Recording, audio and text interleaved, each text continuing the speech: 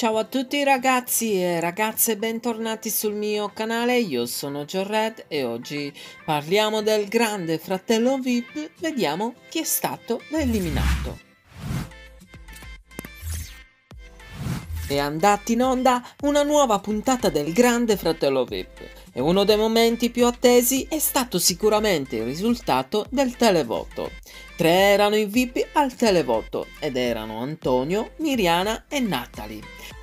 E proprio quest'ultima è l'eliminata di ieri sera. Miriana si è portata a casa il 51% del consenso dei voti, Antonio invece il 30%, mentre Natalie va via con il 19% dei voti. Natalie quindi ha lasciato definitivamente la casa più spiata d'Italia.